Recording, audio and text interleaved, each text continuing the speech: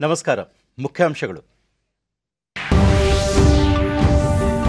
ವಿಧಾನಮಂಡಲದ ಹತ್ತು ದಿನಗಳ ಮುಂಗಾರು ಅಧಿವೇಶನ ಆರಂಭ ಉಭಯ ಸದನಗಳಲ್ಲಿ ಅಗಲಿದ ಗಣ್ಯರಿಗೆ ನಮನ. ಕೋವಿಡ್ ಸಂದಿಗ್ಧತೆಯಲ್ಲಿಯೂ ಕನ್ನಡ ಭಾಷೆಯ ಅಭಿವೃದ್ಧಿಗೆ ಆದ್ಯತೆ. ಹೊರ ರಾಜ್ಯಗಳಲ್ಲೂ ಕನ್ನಡ ಅಧ್ಯಯನ ಪೀಠ ಸ್ಥಾಪನೆ ಸಚಿವ ವಿ. ಸುನೀಲ್ ಕುಮಾರ್ ದೇಶದಲ್ಲಿ ಎಪ್ಪತ್ತೈದು ಕೋಟಿ ಕೋವಿಡ್ ಹತ್ತೊಂಬತ್ತು ಲಸಿಕೆ ವಿತರಣೆ. ಮಹತ್ತರ ಸಾಧನೆಯಲ್ಲಿ ಮುಂಚೂಣಿ ಕಾರ್ಯಕರ್ತರ ಸೇವೆ ಅನನ್ಯ, ಅನುರಾಗ್ ಸಿಂಗ್ ಠಾಕೂರ್. ಹಾಗೂ ರಾಜ್ಯದಲ್ಲಿಂದು ಆರುನೂರ ಎಪ್ಪತ್ಮೂರು ಮಂದಿಗೆ ಕೊರೋನಾ ಸೋಂಕು ದೃಢ. ಹತ್ತು ಜಿಲ್ಲೆಗಳಲ್ಲಿ ಶೂನ್ಯ ಪ್ರಕರಣ ದಾಖಲು. ವಾರ್ತೆಗಳ ವಿವರ. ವಿಧಾನಮಂಡಲದ ಹತ್ತು ದಿನಗಳ ಮುಂಗಾರು ಅಧಿವೇಶನ ಇಂದಿನಿಂದ ಆರಂಭವಾಗಿದೆ. ವಿಧಾನಸಭೆಯಲ್ಲಿ ಸಭಾಧ್ಯಕ್ಷ ವಿಶ್ವೇಶ್ವರ ಹೆಗಡೆ ಕಾಗೇರಿ ಕಲಾಪ ಆರಂಭದಲ್ಲಿ ಇತ್ತೀಚೆಗೆ ಅಗಲಿದ ಗಣ್ಯರಿಗೆ ಸಂತಾಪ ಸೂಚಕ ಪ್ರಸ್ತಾಪ ಮಂಡಿಸಿದರು. ಈ ವೇಳೆ ಅವರು ಕೇಂದ್ರದ ಮಾಜಿ ಸಚಿವ ಬಾಬಗೌಡ ಪಾಟೀಲ್, ಲೋಕಸಭೆಯ ಮಾಜಿ ಸದಸ್ಯರಾದ G Madegowda, S B Sidnal, M Rajagopal, ರಾಜ್ಯಸಭೆಯ ಮಾಜಿ ಸದಸ್ಯ ಕೆಬಿ ಶಾಣಪ್ಪ, ಮಾಜಿ ಸಚಿವರಾಗಿದ್ದ ಪ್ರೊಫೆಸರ್ ಮುಮ್ತಾಜ್ ಅಲಿ ಖಾನ್ ಎಕೆ ಅಬ್ದುಲ್ ಸಮದ್, ವಿಧಾನ ಪರಿಷತ್ ಸದಸ್ಯರಾಗಿದ್ದ ಡಾಕ್ಟರ್ ಸಿದ್ದಲಿಂಗಯ್ಯ ಮಾಜಿ ಶಾಸಕರಾದ ರೇವಣಸಿದ್ದಪ್ಪ ಕಲ್ಲೂರ, ಸದಾಶಿವರಾವ ಬಾಪು ಸಾಹೇಬ ಭೋಸ್ಲೆ, ಸ್ವಾತಂತ್ರ್ಯ ಹೋರಾಟಗಾರರಾದ ಎಚ್ ಎಸ್ ದೊರೆಸ್ವಾಮಿ, ಕನ್ನಡ ನಿಘಂಟು ತಜ್ಞ ಪ್ರೊಫೆಸರ್ ಜಿ ವೆಂಕಟಸುಬ್ಬಯ್ಯ, ಚಿತ್ರನಟಿ ಜಯಂತಿ, ಸಾಹಿತಿ ಡಾಕ್ಟರ್ ವಸಂತ ಕುಷ್ಟಗಿ ಸೇರಿದಂತೆ ಹಲವರಿಗೆ ಸಂತಾಪ ಸೂಚಿಸಿದರು. ಮೃತರ ಸೇವೆಯನ್ನು ಸ್ಮರಿಸಿ ಅಗಲಿದ ಗಣ್ಯರ ನಿಧನದಿಂದ ರಾಜ್ಯಕ್ಕೆ ತುಂಬಲಾರದ ನಷ್ಟ ಎಂದು ಬಣ್ಣಿಸಿದರು. ಜಮೀನನ್ನು ಉಳಿಸಿದ ಹೋರಾಟ ಎಂಬ ಪುಸ್ತಕವೂ ಸೇರಿದಂತೆ ಹಲವು ಪುಸ್ತಕಗಳನ್ನು ಬರೆದಿದ್ದರು. ನಾಡಿನ ನೆಲ, ಜಲ ನೈಸರ್ಗಿಕ ಸಂಪತ್ತಿನ ರಕ್ಷಣೆ, ಬಡವರ ಧ್ವನಿ, ಇಲ್ಲದವರ ಮಾನವ ಹಕ್ಕುಗಳು ಸೇರಿದಂತೆ ಅನೇಕ ವಿಚಾರಗಳ ಕುರಿತು ಹೈಕೋರ್ಟ್ನಲ್ಲಿ ಸಾರ್ವಜನಿಕ ಹಿತಾಸಕ್ತಿ ಅರ್ಜಿಗಳ, ಅರ್ಜಿಗ, ಅರ್ಜಿಗಳನ್ನು ಸಲ್ಲಿಸುವ ಮೂಲಕ ನೊಂದವರಿಗೆ ನ್ಯಾಯ ಕೊಡಿಸುವಲ್ಲಿ ಪ್ರಮುಖ ಪಾತ್ರ ವಹಿಸಿದ್ದರು. ಕನ್ನಡ ನಿಘಂಟು ತಜ್ಞ ಪ್ರೊಫೆಸರ್ ಜಿ. ವೆಂಕಟಸುಬ್ಬಯ್ಯ ಅವರು ಪ್ರಾಧ್ಯಾಪಕರಾಗಿ ಕಾರ್ಯನಿರ್ವಹಿಸಿದ್ದರು. ಶ್ರೀಯುತರು ಭಾಷಾ ತಜ್ಞರಾಗಿ, ಸಂಶೋಧಕರಾಗಿ ಕಾರ್ಯನಿರ್ವಹಿಸಿದ್ದು, ನಿಘಂಟು ರಚನೆ ಕಾರ್ಯದಲ್ಲಿ ತೊಡಗಿಕೊಂಡು ಕಾಯಕ ಜೀವಿ ಎಂದು ಹೆಸರುವಾಸಿಯಾಗಿದ್ದರು. ಹಿರಿಯ ನಟಿ ಶ್ರೀಮತಿ ಜಯಂತಿ ಅವರು ಜೇನುಗೂಡು ಚಿತ್ರದ ಮೂಲಕ ಕನ್ನಡ ರಂಗ ಪ್ರವೇಶಿಸಿದ ಇವರು ಕನ್ನಡ, ತೆಲುಗು, ತಮಿಳು ಮಲಯಾಳಂ, ಹಿಂದಿ, ಮರಾಠಿ ಭಾಷೆ ಸೇರಿದಂತೆ ಐದುನೂರಕ್ಕೂ ಹೆಚ್ಚು ಸಾಮಾಜಿಕ, ಐತಿಹಾಸಿಕ, ಪೌರಾಣಿಕ ಕಾದಂಬರಿ ಆಧಾರಿ, ಆಧಾರಿತ ಚಲನಚಿತ್ರಗಳಲ್ಲಿ ಅಭಿನಯಿಸಿದ್ದ ಇವರು ಅನನ್ಯ ದಿಟ್ಟ ಕಲಾವಿದೆ.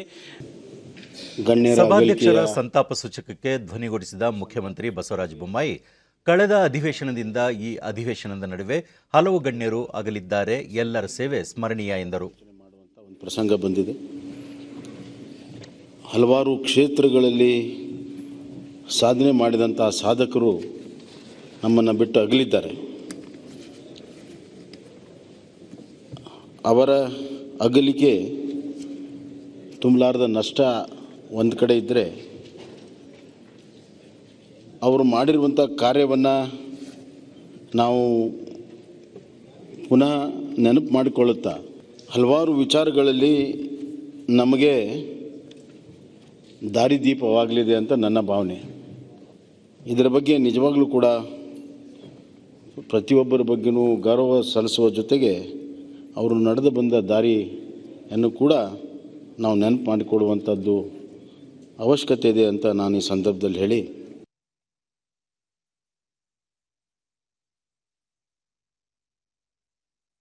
ವಿವಿಧ ಕ್ಷೇತ್ರಗಳಲ್ಲಿ ವಿಧಾನಸಭೆಯ ಪ್ರತಿಪಕ್ಷದ ನಾಯಕ ಸಿದ್ದರಾಮಯ್ಯ ಸೇರಿದಂತೆ ಮತ್ತಿತರರ ಪ್ರಮುಖರು ಮಾತನಾಡಿ ಮೃತರ ಸಾಧನೆ ಕುರಿತು ಮೆಲುಕು ಹಾಕಿದರು. ರಾಜಕೀಯ ಸಾಮಾಜಿಕ ಶೈಕ್ಷಣಿಕ ಸಾಹಿತ್ಯ ಕ್ಷೇತ್ರ ಕಲೆ ಮತ್ತು ಕ್ರೀಡೆ. ಈಗ ಅನೇಕ ಕ್ಷೇತ್ರಗಳಲ್ಲಿ ಸಾಧನೆ ಮಾಡಿದಂಥ ಅನೇಕ ಜನರು ನಮ್ಮನ್ನು ಅಗಲಿದ್ದಾರೆ ಅವರೆಲ್ಲರಿಗೂ ಕೂಡ ನಾವು ಸ್ಮರಣೆ ಮಾಡ್ತಕ್ಕಂಥ, ಅವರ ಆತ್ಮಕ್ಕೆ ಶಾಂತಿ ಕೋರ್ತಕ್ಕಂಥ ಒಂದು ನಿರ್ಣಯವನ್ನು ತಾವು ತಂದಿದ್ದೀರಿ. ಮೃತರ ಕುಟುಂಬಕ್ಕೆ ಬಳಿಕ ಕಲಾಪವನ್ನು ನಾಳೆ ಬೆಳಗ್ಗೆ ಹನ್ನೊಂದು ಗಂಟೆಗೆ ಮುಂದೂಡಿದರು. ರಾಜ್ಯದಲ್ಲಿ ಕೋವಿಡ್ ಸಮಯದಲ್ಲೂ ಕನ್ನಡ ಕಾರ್ಯಕ್ರಮಗಳನ್ನು ಸ್ಥಗಿತಗೊಳಿಸದೆ ಮುಂದುವರಿಸಲಾಗಿದೆ ಎಂದು ಕನ್ನಡ ಮತ್ತು ಸಂಸ್ಕೃತಿ ಸಚಿವ ವಿ. ಸುನೀಲ್ ಕುಮಾರ್ ವಿಧಾನ ಪರಿಷತ್ನಲ್ಲಿಂದು ಹೇಳಿದ್ದಾರೆ. ಪ್ರಶ್ನೋತ್ತರ ಕಲಾಪದಲ್ಲಿ ಆಡಳಿತ ಪಕ್ಷದ ಸದಸ್ಯೆ ತೇಜಸ್ವಿನಿ ಗೌಡ ಅವರ ಪ್ರಶ್ನೆಗೆ ಉತ್ತರಿಸಿದ ಸಚಿವರು ಕನ್ನಡ ಭಾಷೆ ಸಂಸ್ಕೃತಿಯನ್ನು ಉಳಿಸಿ ಬೆಳೆಸುವ ನಿಟ್ಟಿನಲ್ಲಿ ಕಾರ್ಯಕ್ರಮಗಳನ್ನು ಹಾಕಿಕೊಳ್ಳಲಾಗಿದೆ ಎಂದು ತಿಳಿಸಿದರು. ರಾಣಿ ಅಬ್ಬಕ್ಕ, ಹೊಯ್ಸಳ, ಕಿತ್ತೂರು ರಾಣಿ ಚೆನ್ನಮ್ಮ ಸೇರಿದಂತೆ ರಾಜ್ಯದ ವಿವಿಧ ಭಾಗಗಳಲ್ಲಿರುವ ಕೋಟೆ ಕೊತ್ತಲು ಅರಮನೆಗಳನ್ನು ಪುನರುಜ್ಜೀವನಗೊಳಿಸಲಾಗುವುದು ಎಂದು ಅವರು ಮಾಹಿತಿ ನೀಡಿದರು. ರಾಜ್ಯದ ಇಪ್ಪತ್ತೆರಡು ವಿಶ್ವವಿದ್ಯಾಲಯಗಳಲ್ಲಿ ಆರು ಸಾವಿರದ ಏಳ್ನೂರಕ್ಕೂ ಹೆಚ್ಚು ವಿದ್ಯಾರ್ಥಿಗಳು ಕನ್ನಡವನ್ನು ಐಚ್ಛಿಕ ವಿಷಯವನ್ನಾಗಿ ತೆಗೆದುಕೊಂಡು ಅಭ್ಯಾಸ ಮಾಡುತ್ತಿದ್ದಾರೆ. ಹೊರ ರಾಜ್ಯದಲ್ಲಿ ಕನ್ನಡ ಅಧ್ಯಯನ ಪೀಠ ಆರಂಭಿಸಿದ್ದು, ಅಲ್ಲಿ ಕನ್ನಡ ಕಲಿಯುವವರಿಗೆ ವಾರ್ಷಿಕ ಇಪ್ಪತ್ತೈದು ಸಾವಿರ ರೂಪಾಯಿ ವಿದ್ಯಾರ್ಥಿ ವೇತನ ನೀಡಲಾಗುವುದು ಎಂದರು. ಅದನ್ನು ಅಧ್ಯಯನ ಮಾಡ್ತಾ ಇದ್ದೆ. ಕೇರಳ, ತಮಿಳುನಾಡು, ಆಂಧ್ರ ಪ್ರದೇಶ, ತೆಲಂಗಾಣ ಮತ್ತು ಮಹಾರಾಷ್ಟ್ರ. ಈ ಎಂಟು ರಾಜ್ಯಗಳ ವಿದ್ಯಾರ್ಥಿಗಳು ನಮ್ಮ ರಾಜ್ಯದಲ್ಲಿ ಏನು ವಾಸಂಗವನ್ನು ಮಾಡ್ತಾ ಇದ್ದಾರೆ ಅಂಥವರಿಗೆ ವಾರ್ಷಿಕವಾಗಿ ಇಪ್ಪತ್ತೈದು ಸಾವಿರ ರೂಪಾಯಿನ ಪ್ರೋತ್ಸಾಹನವಾಗಿ ಕನ್ನಡ ಅಧ್ಯಯನಕ್ಕೋಸ್ಕರ ಇವತ್ತು ಸರ್ಕಾರ ಕೊಡ್ತಾ ಇದೆ. ಮಾನ್ಯ ಸಚಿವ ಮಾನ್ಯ ಸದಸ್ಯರು ಉಲ್ಲೇಖ ಮಾಡಿದಂತೆ ಇನ್ನಷ್ಟು ಕನ್ನಡದ ಕಂಪು ನಮ್ಮ ರಾಜ್ಯದಲ್ಲಿ ನಿರಂತರವಾಗಿ ನಡೀಬೇಕು. ಭಾಷೆಯ ಬಗ್ಗೆ ಅಭಿಮಾನ ಸಾಹಿತ್ಯದ ಕುರಿತಂತೆ ಇನ್ನಷ್ಟು ಪ್ರಗತಿಗಳು ಸಾಧಿಸಬೇಕು ಅನ್ನುವಂತ ಭಾವನೆಗಳು ಏನಿದೆ ಖಂಡಿತ ಅದಕ್ಕೆ ಒಂದು ಸಹಮತಿ ಇದೆ.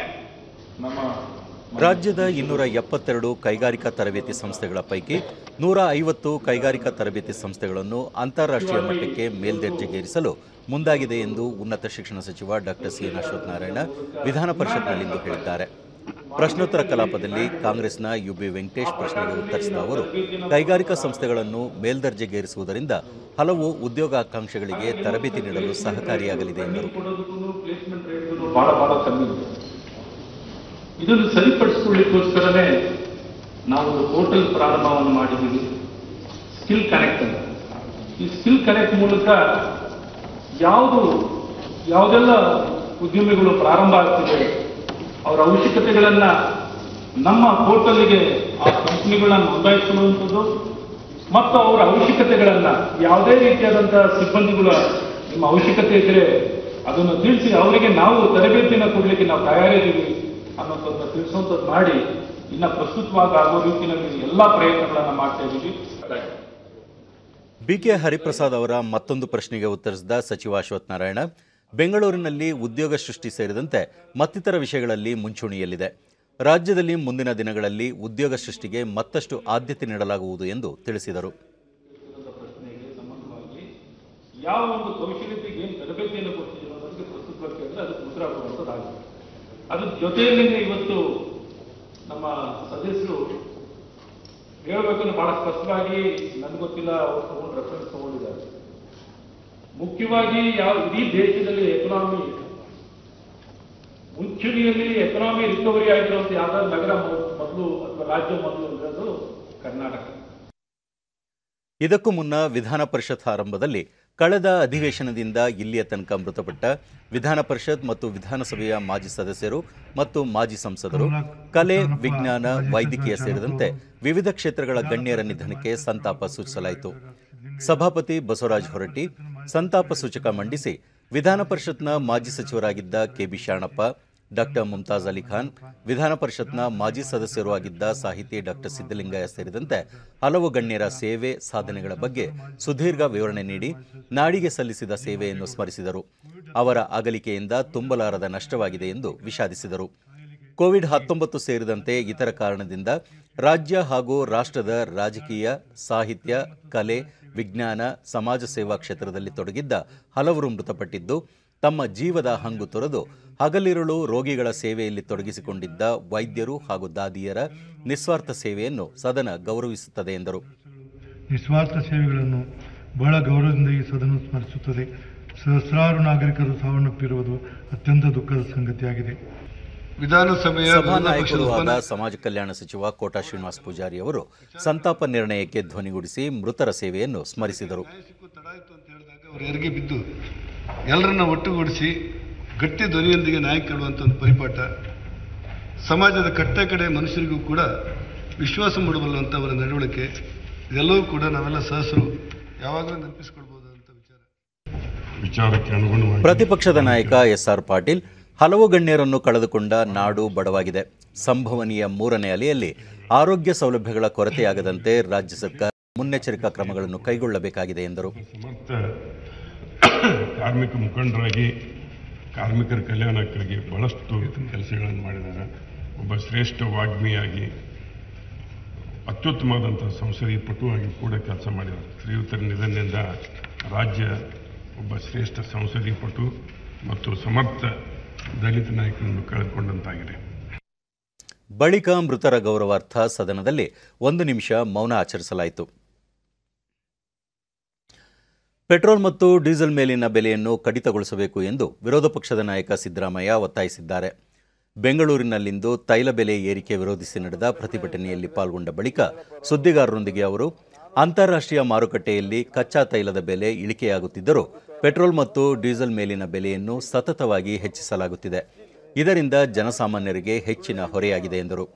ಅಡುಗೆ ಅನಿಲ ಸೇರಿದಂತೆ ದಿನಬಳಕೆ ವಸ್ತುಗಳ ಬೆಲೆಯೂ ಹೆಚ್ಚಳವಾಗುತ್ತಿದ್ದು, ಜನಸಾಮಾನ್ಯರ ಬದುಕು ದುಸ್ತರವಾಗಿದೆ.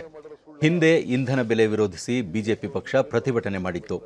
ಈಗ ಕೇಂದ್ರ ಮತ್ತು ರಾಜ್ಯದಲ್ಲಿ ಬಿಜೆಪಿ ಸರ್ಕಾರವೇ ಅಧಿಕಾರದಲ್ಲಿದೆ. ಬೆಲೆ ತಗ್ಗಿಸಲು ಕೂಡಲೇ ಕ್ರಮ ಕೈಗೊಳ್ಳಬೇಕು ಎಂದು ಒತ್ತಾಯಿಸಿದರು. ಅದನ್ನು ಕಡಿಮೆ ಮಾಡಿ. We are concerned about Karnataka people we are concerned about Kannadigas ನಾನು ಅದನ್ನು ಅಡ್ಜರ್ಮೆಂಟ್ ಮೋಷನ್ ಮೂಲಕ ಬೆಲೆ ಏರಿಕೆ ಬಗ್ಗೆ ಮಾತಾಡ್ತೀನಿ. ಲೋಯರ್ ಮಿಡಲ್ ಕ್ಲಾಸ್ ಪೀಪಲ್ ಏನಾಗಿದ್ದಾರೆ? ದೇಶದಲ್ಲಿ ಎಪ್ಪತ್ತೈದು ಕೋಟಿ ಕೋವಿಡ್ ಹತ್ತೊಂಬತ್ತು ಲಸಿಕೆ ಡೋಸ್ ನೀಡುವ ಮೂಲಕ ಮಹತ್ತರ ಸಾಧನೆ ಮಾಡಲಾಗಿದೆ. ಈ ಐತಿಹಾಸಿಕ ಸಾಧನೆ ಕುರಿತು ವಿವರ ನೀಡಿದ ಕೇಂದ್ರ ವಾರ್ತಾ ಮತ್ತು ಪ್ರಸಾರ ಖಾತೆ ಸಚಿವ ಅನುರಾಗ್ ಸಿಂಗ್ ಠಾಕೂರ್ ಕೋವಿಡ್ ಸೋಂಕು ನಿಯಂತ್ರಿಸುವಲ್ಲಿ ಲಸಿಕೆ ನೀಡಿಕೆ ಅತ್ಯಂತ ಪರಿಣಾಮಕಾರಿಯಾಗಿದೆ. ಎಪ್ಪತ್ತೈದು ಕೋಟಿ ಡೋಸ್ ಲಸಿಕೆ ನೀಡಿಕೆಯ ಐತಿಹಾಸಿಕ ಸಾಧನೆಯಲ್ಲಿ ಭಾಗಿಯಾದ ಎಲ್ಲ ಕೋವಿಡ್ ಮುಂಚೂಣಿ ಕಾರ್ಯಕರ್ತರಿಗೆ ಹಾಗೂ ಲಸಿಕೆ ಪಡೆದ ನಾಗರಿಕರು ಅಭಿನಂದನಾರ್ಹರು ಎಂದು ತಿಳಿಸಿದರು. ಹಿಮಾಚಲ ಪ್ರದೇಶ ಸೇರಿದಂತೆ ಹಲವು ರಾಜ್ಯ ಮತ್ತು ಕೇಂದ್ರಾಡಳಿತ ಪ್ರದೇಶಗಳು ಮೊದಲ ಡೋಸ್ ಲಸಿಕೆ ನೀಡುವಲ್ಲಿ ಶೇಕಡ ನೂರರಷ್ಟು ಸಾಧನೆ ಮಾಡಿದ್ದು, ಇತರ ರಾಜ್ಯಗಳು ಇದನ್ನು ಅನುಸರಿಸಬೇಕಿದೆ ಎಂದು ಸಚಿವರು ಹೇಳಿದರು. बर्फ पड़ी है तो कहीं कई कई घंटे तक पैदल चल के टीकाकरण करना पड़ता है वहां तक भी हमारे हेल्थ वर्कर्स ने जाकर वो काम किया जो अपने आप काबिल तारीफ है और प्रधानमंत्री जी ने स्वयं प्रोग्राम करके उनकी तारीफ भी की हौसला अफजाई भी की और हिमाचल की पीठ भी थपथपाई है कोविड से ಪ್ರಧಾನಿ जंग में- ನರೇಂದ್ರ ಮೋದಿ ಅವರ ಮೇಕ್ ಇನ್ ಇಂಡಿಯಾ ಪರಿಕಲ್ಪನೆಯಡಿ ದೇಶದ ವಿಜ್ಞಾನಿಗಳು ಕೋವಿಡ್ ವಿರುದ್ಧ ಭಾರತೀಯ ಲಸಿಕೆಗಳನ್ನು ಅಭಿವೃದ್ಧಿಪಡಿಸಿದ್ದು ಇವು ಜಾಗತಿಕ ಮನ್ನಣೆ ಗಳಿಸಿವೆ ಎಲ್ಲ ಅರ್ಹ ನಾಗರಿಕರಿಗೂ ಉಚಿತ ಲಸಿಕೆ ನೀಡಲಾಗುತ್ತಿದ್ದು ಲಸಿಕೀಕರಣದಲ್ಲಿ ಭಾರತ ಜಾಗತಿಕ ಮಟ್ಟದಲ್ಲಿ ಮುಂಚೂಣಿಯಲ್ಲಿದೆ ಆದರೆ ಕೆಲವು ಪಕ್ಷಗಳು ಲಸಿಕೆ ವಿಷಯದಲ್ಲೂ ರಾಜಕಾರಣ ಮಾಡುತ್ತಿವೆ ಎಂದು ಟೀಕಿಸಿದರು इसके लिए भारत सरकार ने पैसों का प्रावधान भी किया मैं बधाई देता हूं टीका लगाने वालों को भी और लगवाने वालों को भी कोविड वॉरियर्स को भी कि उन्होंने टीका लगाने में भी प्राथमिकता और 75 करोड़ टीकाकरण होना अपने आप में एक बड़ी उपलब्धि है और मुझे पूर्ण विश्वास है कोरोना के खिलाफ हमारी ये जो जंग है इसमें टीकाकरण एक बहुत महत्वपूर्ण भूमिका निभा रहा है ಭಾರತದ ಸಾಧನೆಯನ್ನು ವಿಶ್ವ ಆರೋಗ್ಯ ಸಂಸ್ಥೆ ಶ್ಲಾಘಿಸಿದ್ದು ಭಾರತ ಕೇವಲ ಹದಿಮೂರು ದಿನಗಳಲ್ಲಿ ಅರವತ್ತೈದು ಕೋಟಿ ಡೋಸ್ಗಳಿಂದ ಎಪ್ಪತ್ತೈದು ಕೋಟಿ ಡೋಸ್ ಲಸಿಕೆ ನೀಡಿಕೆಯ ಮಹತ್ತರ ಗಡಿ ದಾಟಿದೆ ಎಂದು ವಿಶ್ವ ಆರೋಗ್ಯ ಸಂಸ್ಥೆ ತಿಳಿಸಿದೆ ಕೇಂದ್ರ ಆರೋಗ್ಯ ಸಚಿವ ಮನ್ಸುಖ್ ಮಾಂಡವೀಯ, ದೇಶದ ಅತಿದೊಡ್ಡ ಲಸಿಕೀಕರಣ ಅಭಿಯಾನ ಪ್ರತಿದಿನವೂ ಹೊಸದೊಂದು ಮೈಲಿಗಲ್ಲು ನಿರ್ಮಿಸುತ್ತಿದೆ. ಸ್ವಾತಂತ್ರ್ಯದ ಎಪ್ಪತ್ತೈದನೇ ವರ್ಷಾಚರಣೆ ಸಂದರ್ಭದಲ್ಲಿ ಎಪ್ಪತ್ತೈದು ಕೋಟಿ ಡೋಸ್ ಲಸಿಕೆ ನೀಡಿರುವುದು ಐತಿಹಾಸಿಕ ಸಾಧನೆ ಎಂದು ತಿಳಿಸಿದ್ದಾರೆ. ದೇಶದ ಆರು ರಾಜ್ಯ ಮತ್ತು ಕೇಂದ್ರಾಡಳಿತ ಪ್ರದೇಶಗಳು ತಮ್ಮ ಎಲ್ಲ ಅರ್ಹ ನಾಗರಿಕರಿಗೆ ಕೋವಿಡ್ ಹತ್ತೊಂಬತ್ತು ಲಸಿಕೆಯ ಮೊದಲ ಡೋಸ್ ನೀಡುವ ಮೂಲಕ ಶೇಕಡಾ ನೂರರಷ್ಟು ಸಾಧನೆ ಮಾಡಿವೆ. ಹಿಮಾಚಲ ಪ್ರದೇಶ ಗೋವಾ, ಸಿಕ್ಕಿಂ ರಾಜ್ಯಗಳು, ಲಡಾಖ್, ಲಕ್ಷದ್ವೀಪ, ದಾದ್ರಾ ಮತ್ತು ನಗರ್ ಹವೇಲಿ ಹಾಗೂ ಡಿಯು ಮತ್ತು ದಮನ್ ಕೇಂದ್ರಾಡಳಿತ ಪ್ರದೇಶಗಳು ಈ ಸಾಧನೆ ಮಾಡಿದ ಹಿರಿಮೆಗೆ ಪಾತ್ರವಾಗಿವೆ. ಹಿಮಾಚಲ ಪ್ರದೇಶದಲ್ಲಿ ಐವತ್ತೈದು ಪಾಯಿಂಟ್ ಏಳು ನಾಲ್ಕು ಲಕ್ಷ ಡೋಸ್ ಲಸಿಕೆ, ಗೋವಾದಲ್ಲಿ ಹನ್ನೊಂದು ಪಾಯಿಂಟ್ ಎಂಟು ಮೂರು ಲಕ್ಷ, ಸಿಕ್ಕಿಂನಲ್ಲಿ ಐದು ಪಾಯಿಂಟ್ ಒಂದು ಲಕ್ಷ, ಲಡಾಖ್ನಲ್ಲಿ ಒಂದು ಪಾಯಿಂಟ್ ಒಂಬತ್ತು ಏಳು ಲಕ್ಷ ಲಕ್ಷದ್ವೀಪದಲ್ಲಿ ಐವತ್ಮೂರು ಸಾವಿರದ ನಾನ್ನೂರ ತೊಂಬತ್ತೊಂಬತ್ತು ಲಕ್ಷ, ದಾದ್ರಾ ಮತ್ತು ನಗರ್ ಹವೇಲಿ ಹಾಗೂ ಡಿಯು ಮತ್ತು ದಮನ್ನಲ್ಲಿ ಆರು ಪಾಯಿಂಟ್ ಎರಡು ಆರು ಲಕ್ಷ ಡೋಸ್ ಲಸಿಕೆ ನೀಡಲಾಗಿದೆ. ಈ ಹಿನ್ನೆಲೆಯಲ್ಲಿ ರಾಜ್ಯಗಳು ಮತ್ತು ಕೇಂದ್ರಾಡಳಿತ ಪ್ರದೇಶಗಳನ್ನು ಕೇಂದ್ರ ಆರೋಗ್ಯ ಸಚಿವ ಮನ್ಸುಖ್ ಮಾಂಡವೀಯ ಅಭಿನಂದಿಸಿದ್ದಾರೆ. ರಾಜ್ಯದಲ್ಲಿ ಇಂದು ಹೊಸದಾಗಿ ಆರುನೂರ ಎಪ್ಪತ್ಮೂರು ಕೋವಿಡ್ ಪ್ರಕರಣಗಳು ದೃಢಪಟ್ಟಿದ್ದು, ಇದರೊಂದಿಗೆ ಒಟ್ಟು ಸೋಂಕು ಪ್ರಕರಣಗಳ ಸಂಖ್ಯೆ ಇಪ್ಪತ್ತೊಂಬತ್ತು ಲಕ್ಷ ಅರವತ್ತೆರಡು ಸಾವಿರದ ನಾನ್ನೂರ ಎಂಟಕ್ಕೆ ಏರಿಕೆಯಾಗಿದೆ. ಇಂದು ಒಂದು ಸಾವಿರದ ಎಪ್ಪತ್ನಾಲ್ಕು ಮಂದಿ ಆಸ್ಪತ್ರೆಯಿಂದ ಬಿಡುಗಡೆಯಾಗಿದ್ದು, ಇದುವರೆಗೂ ಗುಣಮುಖರಾದವರ ಒಟ್ಟು ಸಂಖ್ಯೆ ಇಪ್ಪತ್ತೊಂಬತ್ತು ಲಕ್ಷ ಎಂಟು ಸಾವಿರದ ಆರುನೂರ ಇಪ್ಪತ್ತೆರಡಕ್ಕೆ ತಲುಪಿದೆ. ಇಂದು ಹದಿಮೂರು ಮಂದಿ ಸಾವನ್ನಪ್ಪಿದ್ದು, ಮೃತಪಟ್ಟವರ ಸಂಖ್ಯೆ ಮೂವತ್ತೇಳು ಸಾವಿರದ ಐನೂರ ಹದಿನೇಳಕ್ಕೆ ಏರಿಕೆಯಾಗಿದೆ. ಸದ್ಯ ರಾಜ್ಯದಲ್ಲಿ ಹದಿನಾರು ಸಾವಿರದ ಇನ್ನೂರ ನಲವತ್ತೊಂದು ಸಕ್ರಿಯ ಪ್ರಕರಣಗಳಿವೆ ಎಂದು ಆರೋಗ್ಯ ಮತ್ತು ಕುಟುಂಬ ಕಲ್ಯಾಣ ಇಲಾಖೆ ತಿಳಿಸಿದೆ. ಬೆಂಗಳೂರಿನಲ್ಲಿ ಇನ್ನೂರ ಹದಿನಾಲ್ಕು ಮಂದಿಗೆ ಸೋಂಕು ತಗುಲಿದ್ದು, ಒಟ್ಟು ಸೋಂಕು ಪ್ರಕರಣಗಳ ಸಂಖ್ಯೆ ಹನ್ನೆರಡು ಲಕ್ಷ ನಲವತ್ತೊಂದು ಸಾವಿರದ ಆರುನೂರ ಮೂವತ್ತೊಂಬತ್ತಕ್ಕೆ ಏರಿಕೆಯಾಗಿದೆ. ಇಂದು ಮುನ್ನೂರ ಎಪ್ಪತ್ತೊಂದು ಮಂದಿ ಆಸ್ಪತ್ರೆಯಿಂದ ಬಿಡುಗಡೆಯಾಗಿದ್ದು, ಇದುವರೆಗೂ ಒಟ್ಟು ಹನ್ನೆರಡು ಲಕ್ಷ ಹದಿನೆಂಟು ಸಾವಿರ ಮುನ್ನೂರ ಎಪ್ಪತ್ತೊಂದು ಮಂದಿ ಗುಣಮುಖರಾಗಿದ್ದಾರೆ. ಸದ್ಯ ಏಳು ಸಾವಿರದ ಇನ್ನೂರ ಹನ್ನೊಂದು ಸಕ್ರಿಯ ಪ್ರಕರಣಗಳಿವೆ. ಬೆಂಗಳೂರಿನಲ್ಲಿಂದು ಮೂವರು ಸಾವನ್ನಪ್ಪಿದ್ದು, ಇದುವರೆಗೂ ಒಟ್ಟು ಹದಿನಾರು ಸಾವಿರದ ಐವತ್ತಾರು ಮಂದಿ ಸಾವನ್ನಪ್ಪಿದ್ದಾರೆ. ಬಾಗಲಕೋಟೆ, ಬೆಳಗಾವಿ, ಬೀದರ್, ಧಾರವಾಡ, ಗದಗ, ಹಾವೇರಿ, ಕಲಬುರಗಿ, ರಾಯಚೂರು, ವಿಜಯಪುರ, ಯಾದಗಿರಿ ಸೇರಿ ಹತ್ತು ಜಿಲ್ಲೆಗಳಲ್ಲಿ ಯಾವುದೇ ಸೋಂಕು ಪ್ರಕರಣ ವರದಿಯಾಗಿಲ್ಲ. ಉಳಿದಂತೆ ರಾಜ್ಯದ ವಿವಿಧ ಜಿಲ್ಲೆಗಳಲ್ಲಿ ದಾಖಲಾಗಿರುವ ಸೋಂಕು ಪ್ರಕರಣಗಳ ಸಂಖ್ಯೆ ಈ ರೀತಿ ಇದೆ.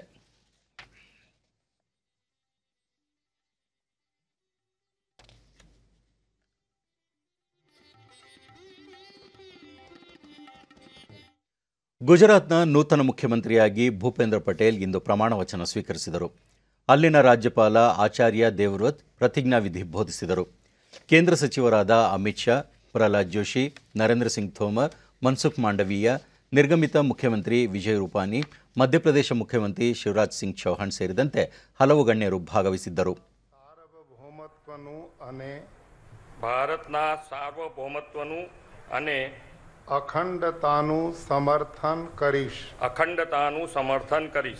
અને અને હું હું ગુજરાત રાજ્યના મુખ્યમંત્રી તરીકેના ગુજરાત રાજ્યના મુખ્યમંત્રી તરીકેના મારા કર્તવ્યો મારા કર્તવ્યો શ્રદ્ધાપૂર્વક અને અંતઃકરણપૂર્વક બજાવીશ. શ્રદ્ધાપૂર્વક અને અંતઃકરણપૂર્વક બજાવીશ. ಪ್ರಧಾನಿ ನರೇಂದ್ರ ಮೋದಿ ಅವರು ನೂತನ ಮುಖ್ಯಮಂತ್ರಿ ಭೂಪೇಂದ್ರ ಪಟೇಲ್ ಅವರನ್ನು ಅಭಿನಂದಿಸಿದ್ದಾರೆ. ನಾಗರಿಕ ಆಡಳಿತ, ಸಮುದಾಯ ಸೇವೆ ಮತ್ತು ಪಕ್ಷ ಸಂಘಟನಾ ಕಾರ್ಯಗಳಲ್ಲಿ ಭೂಪೇಂದ್ರ ಪಟೇಲ್ ಅವರು ಅನನ್ಯ ಕೊಡುಗೆ ನೀಡಿದ್ದಾರೆ. ಗುಜರಾತ್ನ ಅಭಿವೃದ್ಧಿ ಕಾರ್ಯವನ್ನು ಅವರು ಮತ್ತಷ್ಟು ಬಲಪಡಿಸುವ ವಿಶ್ವಾಸವಿದೆ ಎಂದು ಪ್ರಧಾನಿ ಟ್ವೀಟ್ ಮಾಡಿದ್ದಾರೆ. ನಿರ್ಗಮಿತ ಮುಖ್ಯಮಂತ್ರಿ ವಿಜಯ್ ರೂಪಾನಿ ಅವರು ಹಲವು ಜನಸ್ನೇಹಿ ಕಾರ್ಯಕ್ರಮಗಳನ್ನು ಜಾರಿಗೊಳಿಸಿದ್ದು, ಸಮಾಜದ ಎಲ್ಲಾ ವರ್ಗಗಳ ಅಭಿವೃದ್ಧಿಗಾಗಿ ಅವಿರತವಾಗಿ ಶ್ರಮಿಸಿದ್ದಾರೆ. ಸಾರ್ವಜನಿಕ ಸೇವೆಯಲ್ಲಿ ಅವರ ಕೊಡುಗೆ ಮುಂದುವರಿಯುವ ವಿಶ್ವಾಸವಿದೆ ಎಂದು ಪ್ರಧಾನಿ ಟ್ವೀಟ್ ಮಾಡಿದ್ದಾರೆ. ಎರಡು ದಿನಗಳ ಭಾರತ ಭೇಟಿಯಲ್ಲಿರುವ ಅಮೆರಿಕ ರಾಷ್ಟ್ರಾಧ್ಯಕ್ಷರ ವಿಶೇಷ ಪ್ರತಿನಿಧಿ ಜಾನ್ ಕೆರ್ರಿ, ದೆಹಲಿಯಲ್ಲಿಂದು ಕೇಂದ್ರ ಪರಿಸರ, ಅರಣ್ಯ ಮತ್ತು ಹವಾಮಾನ ವೈಪರೀತ ಖಾತೆ ಸಚಿವ ಭೂಪೇಂದ್ರ ಯಾದವ್ ಅವರೊಂದಿಗೆ ಹವಾಮಾನ ಕಾರ್ಯಸೂಚಿ ಮತ್ತು ಬಂಡವಾಳ ಸಂಗ್ರಹ ಕುರಿತು ಮಾತುಕತೆ ನಡೆಸಿದರು. ಭಾರತ, ಅಮೆರಿಕ ಹವಾಮಾನ ಮತ್ತು ಸ್ವಚ್ಛ ಇಂಧನ ಎರಡು ಸಾವಿರದ ಮೂವತ್ತು ಕಾರ್ಯಸೂಚಿ ಸಹಭಾಗಿತ್ವದ ಕುರಿತು ಸಮಾಲೋಚನೆ ನಡೆಸಲಾಯಿತು. ಬಳಿಕ ಭೂಪೇಂದ್ರ ಯಾದವ್, ತಾಪಮಾನ ಇಳಿಕೆ ನಿಟ್ಟಿನಲ್ಲಿ ದೇಶದಲ್ಲಿ ಹಲವು ಕ್ರಮ ಕೈಗೊಳ್ಳಲಾಗಿದ್ದು, ಎರಡು ಸಾವಿರದ ಮೂವತ್ತರೊಳಗೆ ನಾನೂರ ಐವತ್ತು ಗಿಗಾವ್ಯಾಟ್ನಷ್ಟು ನವೀಕರಿಸಬಹುದಾದ ಇಂಧನ ಉತ್ಪಾದನೆ ಗುರಿ ಹೊಂದಲಾಗಿದೆ. ದೇಶದ ಒಟ್ಟಾರೆ ಭೂಪ್ರದೇಶದಲ್ಲಿ ಶೇಕಡ ಇಪ್ಪತ್ನಾಲ್ಕಕ್ಕಿಂತ ಹೆಚ್ಚು ಅರಣ್ಯ ಪ್ರದೇಶವಿದ್ದು, ಇದನ್ನು ಶೇಕಡ ಮೂವತ್ತ್ಮೂರಕ್ಕೆ ಹೆಚ್ಚಿಸಲು ಕ್ರಮ ಕೈಗೊಳ್ಳಲಾಗಿದೆ ಎಂದರು. 50 gigawatt by 2030. India's total forest and tree cover is 24.56% of the total geographical area of the country and it is increasing. We are moving ahead to achieve targeted forest and tree cover of 33% of total geographical area.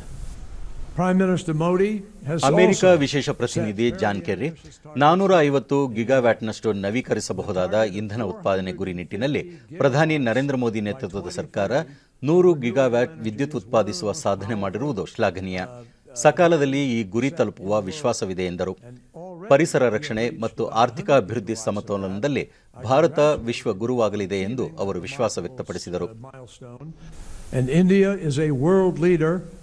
In demonstrating that economic development and clean energy can go hand in hand.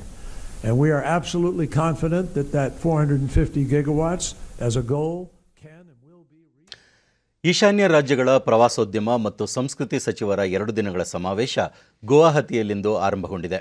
ಸಮಾವೇಶ ಉದ್ಘಾಟಿಸಿ ಭಾಷಣ ಮಾಡಿದ ಕೇಂದ್ರ ಪ್ರವಾಸೋದ್ಯಮ ಮತ್ತು ಸಂಸ್ಕೃತಿ ಸಚಿವ G Kishan Reddy, ಈಶಾನ್ಯ ರಾಜ್ಯಗಳ ಅಭಿವೃದ್ಧಿಯಲ್ಲಿ ಪ್ರವಾಸೋದ್ಯಮ ವಲಯ ಮಹತ್ವದ ಪಾತ್ರ ವಹಿಸಲಿದೆ. ಈ ವಲಯದಲ್ಲಿನ ಕೇಂದ್ರದ ಹಲವು ಕ್ರಮಗಳಿಂದಾಗಿ ಈಶಾನ್ಯ ರಾಜ್ಯಗಳ ಜನತೆ ನೇರ ಲಾಭ ಪಡೆಯಲಿದ್ದಾರೆ ಎಂದರು. ಈಶಾನ್ಯ ರಾಜ್ಯಗಳು ಪ್ರವಾಸಿಗರ ಅತ್ಯಾಕರ್ಷಕ ತಾಣ ಅಭಿವೃದ್ಧಿಗೊಳ್ಳಲು ಸಾಕಷ್ಟು ಅವಕಾಶವಿದೆ ಎಂದ ಸಚಿವರು, ಈಶಾನ್ಯ ರಾಜ್ಯಗಳ ಅಭಿವೃದ್ಧಿಯಲ್ಲಿ ಯುವಜನರ ಪಾತ್ರ ಮಹತ್ವದ್ದು ಎಂದರು. ಅಸ್ಸಾಂ ಮುಖ್ಯಮಂತ್ರಿ ಹಿಮಂತ್ ಬಿಸ್ವಾ ಶರ್ಮಾ ಸೇರಿದಂತೆ ಮತ್ತಿತರರು ಉಪಸ್ಥಿತರಿದ್ದರು. ಮಹಿಳಾ ಮತ್ತು ಮಕ್ಕಳ ಅಭಿವೃದ್ಧಿ ಇಲಾಖೆ ಸೇರಿದಂತೆ ವಿವಿಧ ಇಲಾಖೆಗಳ ಆಶ್ರಯದಲ್ಲಿ ಮಂಡ್ಯ ಜಿಲ್ಲೆಯ ಚಿಕ್ಕಮಂಡ್ಯ ಗ್ರಾಮದಲ್ಲಿಂದು ಹಮ್ಮಿಕೊಂಡಿದ್ದ ಜಿಲ್ಲಾ ಮಟ್ಟದ ಪೋಷಣ್ ಅಭಿಯಾನದ ಮಾಸಾಚರಣೆಯನ್ನು ಜಿಲ್ಲಾ ಪಂಚಾಯತ್ ಮುಖ್ಯ ಕಾರ್ಯನಿರ್ವಹಣಾಧಿಕಾರಿ ದಿವ್ಯಾಪ್ರಭು ಉದ್ಘಾಟಿಸಿದರು.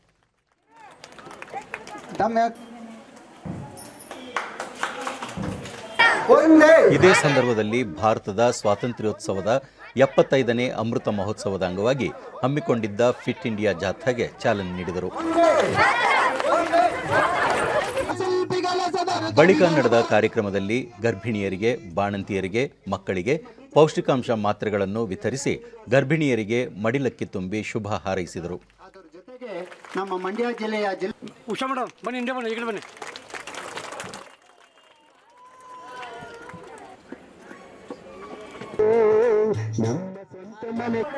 ಫಲಾನ್ ಫಲಾನುಭವಿ ಶೈಲಜಾ ಗರ್ಭಿಣಿಯರು ಯಾವ ರೀತಿ ಆಹಾರ ಸೇವಿಸಬೇಕು ಬಾಣಂತಿಯರು ಎಷ್ಟು ಪ್ರಮಾಣದಲ್ಲಿ ಪೌಷ್ಟಿಕಾಂಶಯುಕ್ತ ಆಹಾರ ಸೇವನೆ ಮಾಡಬೇಕು ಎನ್ನುವುದು ಅಭಿಯಾನದಿಂದ ತಿಳಿದು ಬಂದಿದೆ ಎಂದರು. ಮತ್ತು ಮಗು ಆದಮೇಲೆ ಯಾವ ರೀತಿ ಮಕ್ಕಳನ್ನ ಪೋಷಣೆ ಮಾಡಬೇಕು ಅನ್ನೋದ್ರ ಬಗ್ಗೆ ತುಂಬ ಚೆನ್ನಾಗಿ ತಿಳಿಸ್ಕೊಟ್ಟಿದ್ದಾರೆ. ಜೊತೆಗೆ ಎಲ್ಲರಿಗೂ ಆಯುಷ್ ಇಲಾಖೆಯಿಂದ ಚವನ್ ಪ್ರಸ್ ಕೊಟ್ಟಿದ್ದಾರೆ. ಚವನ್ ಪ್ರಸ್ ವಿತರಣೆ ಮಾಡಿದ್ದಾರೆ. ಮತ್ತು ನಮಗೆಲ್ಲ ಉಪಯೋಗ ಆಗುವಂಥ ತುಂಬ ಮಾಹಿತಿಗಳನ್ನ ಹೇಳ್ಕೊಟ್ಟಿದ್ದಾರೆ. ಯೋಗದ ಬಗ್ಗೆ ನಮ್ಗೆ ತಿಳಿಸ್ಕೊಟ್ಟಿದ್ದಾರೆ. ಮಹಿಳಾ ಮತ್ತು ಮಕ್ಕಳ ಅಭಿವೃದ್ಧಿ ಇಲಾಖೆ ಉಪನಿರ್ದೇಶಕ ರಾಜಮೂರ್ತಿ, ಸೆಪ್ಟೆಂಬರ್ ಒಂದರಿಂದ ಪೋಷಣ ಮಾಸಾಚರಣೆ ಆರಂಭವಾಗಿದೆ. ಗರ್ಭಿಣಿಯರಿಗೆ, ಬಾಣಂತಿಯರಿಗೆ ರಕ್ತಹೀನತೆ, ಅಪೌಷ್ಟಿಕತೆಯಿಂದ ಎದುರಾಗುವ ಸಮಸ್ಯೆಗಳ ಕುರಿತು ಜಾಗೃತಿ ಮೂಡಿಸಲಾಗುತ್ತಿದೆ. ಕಾಲಕಾಲಕ್ಕೆ ಔಷಧಿ ತೆಗೆದುಕೊಳ್ಳುವ ಜೊತೆಗೆ ಪೌಷ್ಟಿಕಾಂಶಯುಕ್ತ ಆಹಾರ ಸೇವನೆ ಕುರಿತು ಸಲಹೆ ನೀಡಲಾಗುತ್ತಿದೆ ಎಂದರು. ಮಕ್ಕಳನ್ನು ಪೌಷ್ಟಿಕತೆಗೆ ಕರ್ತರ್ತಕ್ಕಂಥದ್ದು, ಜೊತೆಗೆ ಗರ್ಭಿಣಿ ತಾಯಂದರಲ್ಲಿ ಲಸಿಕೆ ಹಾಕ್ಸ್ಕೊಳ್ಳೋದ್ರ ಮುಖಾಂತರ ಮತ್ತು ಸ್ವಚ್ಛತೆ, ಆರೋಗ್ಯ ಶಿಕ್ಷಣವನ್ನು ನೀಡೋದ್ರ ಮುಖಾಂತರ ಅವರು ಏನು ಉತ್ತಮವಾದಂಥ ಒಂದು ಪೌಷ್ಟಿಕ ಮಟ್ಟವನ್ನು ವೃದ್ಧಿಸ್ತಕ್ಕಂಥ ಕೆಲಸವನ್ನು ಇಡೀ ಜಿಲ್ಲಾದ್ಯಂತ ಮಹಿಳಾ ಮತ್ತು ಮಕ್ಕಳ ಅಭಿವೃದ್ಧಿ ಇಲಾಖೆ ವತಿಯಿಂದ ನಾವು ಮಾಡ್ತಾ ಇದ್ದೀವಿ. ಡಿಡಿ ನ್ಯೂಸ್ನೊಂದಿಗೆ ಮುಖ್ಯ ಕಾರ್ಯನಿರ್ವಹಣಾಧಿಕಾರಿ ದಿವ್ಯಾ ಪ್ರಭು ಗರ್ಭಿಣಿಯರು ಮಹಿಳೆಯರು ಮಕ್ಕಳು ಪೌಷ್ಟಿಕಾಂಶ ಸೇವನೆಯಿಂದ ಆಗುವ ಪ್ರಯೋಜನಗಳ ಕುರಿತು ಅರಿವು ಮೂಡಿಸಲಾಗುತ್ತಿದೆ. ರಾಜ್ಯದ ಬೇರೆ ಜಿಲ್ಲೆಗಳಿಗೆ ಹೋಲಿಸಿದರೆ ಮಂಡ್ಯ ಜಿಲ್ಲೆಯಲ್ಲಿ ಅಪೌಷ್ಟಿಕತೆಯಿಂದ ಬಳಲುವ ಮಕ್ಕಳ ಸಂಖ್ಯೆ ತೀರಾ ಕಡಿಮೆ ಇದೆ ಎಂದು ಮಾಹಿತಿ ನೀಡಿದರು.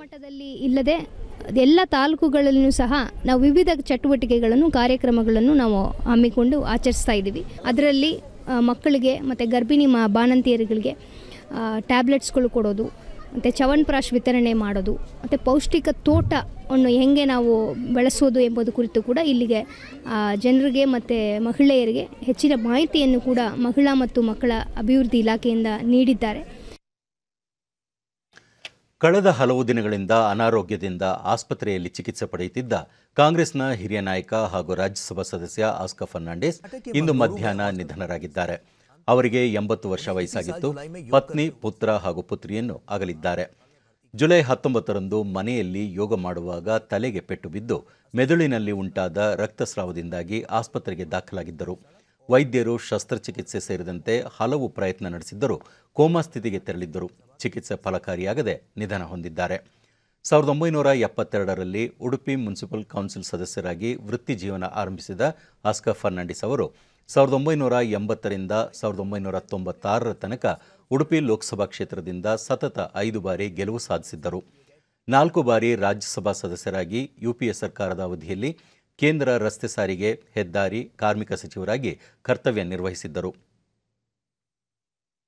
ಕಾಂಗ್ರೆಸ್ ಪಕ್ಷದ ಪ್ರಧಾನ ಕಾರ್ಯದರ್ಶಿಯಾಗಿ ಕೆಲಸ ಮಾಡಿದ್ದ ಆಸ್ಕರ್ ಫರ್ನಾಂಡಿಸ್ ಅವರು ರಾಜೀವ್ ಗಾಂಧಿ, ಸೋನಿಯಾ ಗಾಂಧಿ ಅವರ ಆಪ್ತ ವಲಯದಲ್ಲಿ ಗುರುತಿಸಿಕೊಂಡಿದ್ದರು. ಮಂಗಳೂರಿನ ಎನಪೋಯ ಆಸ್ಪತ್ರೆಯ ಮುಖ್ಯ ಕಾರ್ಯನಿರ್ವಹಣಾಧಿಕಾರಿ ಡಾಕ್ಟರ್ ರಂಜನ್, ಕಳೆದ ಎರಡು ತಿಂಗಳಿನಿಂದ ಆಸ್ಪತ್ರೆಯಲ್ಲಿ ಆಸ್ಕರ್ ಫರ್ನಾಂಡಿಸ್ ಅವರಿಗೆ ಚಿಕಿತ್ಸೆ ನೀಡಲಾಗುತ್ತಿತ್ತು. ಚೇತರಿಸಿಕೊಳ್ಳುವ ನಿರೀಕ್ಷೆ ಇತ್ತು. ಆದರೆ ದುರದೃಷ್ಟವಶಾತ್ ಚಿಕಿತ್ಸೆ ಫಲಕಾರಿಯಾಗದೆ ಮಧ್ಯಾಹ್ನ ನಿಧನರಾಗಿದ್ದಾರೆ ಎಂದು ಹೇಳಿದರು.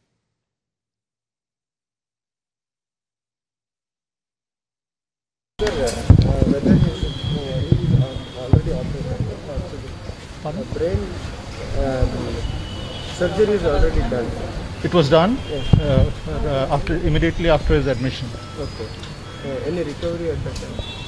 No, uh, he's been dialysis. Yeah, no, he there was he was uh, managed in the intensive care unit, but uh, he was in coma, and uh, he succumbed to it today in the afternoon.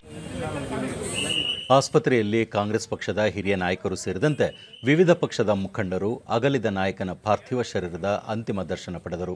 ಈ ಹಿನ್ನೆಲೆಯಲ್ಲಿ police ಬಿಗಿ ಬಂದೋಬಸ್ತ್ ಮಾಡಲಾಗಿದೆ. ನಾಳೆ ಇಡೀ ದಿನ Udupi church Congress ಪಕ್ಷದ ಕಚೇರಿಯಲ್ಲಿ ಪಾರ್ಥಿವ ಶರೀರದ ಅಂತಿಮ ದರ್ಶನಕ್ಕೆ ಅವಕಾಶ ಕಲ್ಪಿಸಲಾಗಿದೆ.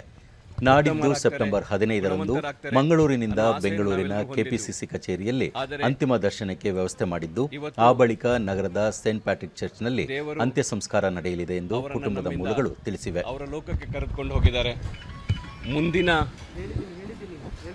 ಅವರನ್ನು ಯಾವ ರೀತಿ ಮಾಡಬೇಕು ಅಂತ ಹೇಳಿ ಕುಟುಂಬದ ಸದಸ್ಯರೊಂದಿಗೆ ಚರ್ಚೆಯನ್ನು ಮಾಡಿಸಿ ಜಿಲ್ಲಾಡಳಿತದೊಂದಿಗೆ ಚರ್ಚಿಸಿ ಮುಂದಿನ ನಿರ್ಧಾರವನ್ನು ನಾವು ತೆಗೆದುಕೊಳ್ಳೋದನ್ನು ನಿಮಗೆ ತಿಳಿಸ್ತಾ ಇದ್ದೇವೆ. ಈ ಮಧ್ಯೆ ಕಾಂಗ್ರೆಸ್, ಬಿಜೆಪಿ ಮತ್ತು ಜೆಡಿಎಸ್ ನಾಯಕರು ಅಗಲಿದ ಆಸ್ಕಾ ಫರ್ನಾಂಡಿಸ್ಗೆ ಶ್ರದ್ಧಾಂಜಲಿ ಸಲ್ಲಿಸಿದ್ದಾರೆ. ಈ ಕುರಿತು ಟ್ವೀಟ್ ಮಾಡಿರುವ ಪ್ರಧಾನಿ ನರೇಂದ್ರ ಮೋದಿ, ಆಸ್ಕರ್ ಫರ್ನಾಂಡಿಸ್ ಅವರ ನಿಧನದಿಂದ ಅಪಾರ ದುಃಖವಾಗಿದ್ದು ಮೃತರ ಆತ್ಮಕ್ಕೆ ಶಾಂತಿ ದೊರೆಯಲಿ ಎಂದು ತಿಳಿಸಿದ್ದಾರೆ. ಕೊನೆಯಲ್ಲಿ ಮತ್ತೊಮ್ಮೆ ಮುಖ್ಯಾಂಶಗಳು. ವಿಧಾನಮಂಡಲದ ಹತ್ತು ದಿನಗಳ ಮುಂಗಾರು ಅಧಿವೇಶನ ಆರಂಭ, ಉಭಯ ಸದನಗಳಲ್ಲಿ ಅಗಲಿದ ಗಣ್ಯರಿಗೆ ನಮನ. ಕೋವಿಡ್ ಸಂದಿಗ್ಧತೆಯಲ್ಲಿಯೂ ಕನ್ನಡ ಭಾಷೆಯ ಅಭಿವೃದ್ಧಿಗೆ ಆದ್ಯತೆ. ಹೊರ ರಾಜ್ಯಗಳಲ್ಲೂ ಕನ್ನಡ ಅಧ್ಯಯನ ಪೀಠ ಸ್ಥಾಪನೆ, ಸಚಿವ ವಿ. ಸುನಿಲ್ ಕುಮಾರ್. ದೇಶದಲ್ಲಿ ಎಪ್ಪತ್ತೈದು ಕೋಟಿ ಕೋವಿಡ್ ಹತ್ತೊಂಬತ್ತು ಲಸಿಕೆ ವಿತರಣೆ. ಮಹತ್ತರ ಸಾಧನೆಯಲ್ಲಿ ಮುಂಚೂಣಿ ಕಾರ್ಯಕರ್ತರ ಸೇವೆ ಅನನ್ಯ, ಅನುರಾಗ್ ಸಿಂಗ್ ಠಾಕೂರ್. ಹಾಗೂ ರಾಜ್ಯದಲ್ಲಿಂದು ಆರುನೂರ ಎಪ್ಪತ್ಮೂರು ಮಂದಿಗೆ ಕೊರೋನಾ ಸೋಂಕು ದೃಢ, ಹತ್ತು ಜಿಲ್ಲೆಗಳಲ್ಲಿ ಶೂನ್ಯ ಪ್ರಕರಣ ದಾಖಲು. ನಮ್ಮ ವಾರ್ತಾ ಪ್ರಸಾರವನ್ನು ನೀವು ಡಿಡಿ ಚಂದನ ನ್ಯೂಸ್ ಯೂಟ್ಯೂಬ್ ಚಾನೆಲ್ನಲ್ಲೂ ವೀಕ್ಷಿಸಬಹುದು. ವ್ಯಕ್ತಿಗತ ಅಂತರ ಕಾಪಾಡಿಕೊಳ್ಳುವುದರೊಂದಿಗೆ ನೀವು ಸುರಕ್ಷಿತವಾಗಿರಿ, ನಿಮ್ಮವರನ್ನು ಸುರಕ್ಷಿತವಾಗಿರಿಸಿ. ನೈರ್ಮಲ್ಯಕ್ಕೆ ಆದ್ಯತೆ ನೀಡುವುದರ ಜೊತೆಗೆ ಕೋವಿಡ್ ಹತ್ತೊಂಬತ್ತು ಮಾರ್ಗಸೂಚಿಗಳನ್ನು ತಪ್ಪದೆ ಪಾಲಿಸಿ. ಇಲ್ಲಿಗೆ ಇಂದಿನ ವಾರ್ತಾ ಪ್ರಸಾರ ಮುಕ್ತಾಯವಾಯಿತು. ಸತ್ಯ, ಸಮರ್ಥ, ಸಂಪೂರ್ಣ ಸುದ್ದಿಗಾಗಿ ವೀಕ್ಷಿಸಿ ಚಂದನ ವಾರ್ತೆ. ನಮ್ಮ ಮುಂದಿನ ವಾರ್ತಾ ಪ್ರಸಾರ ನಾಳೆ ಬೆಳಗ್ಗೆ ಏಳು ಗಂಟೆ ಮೂವತ್ತು ನಿಮಿಷಕ್ಕೆ. ನಮಸ್ಕಾರ.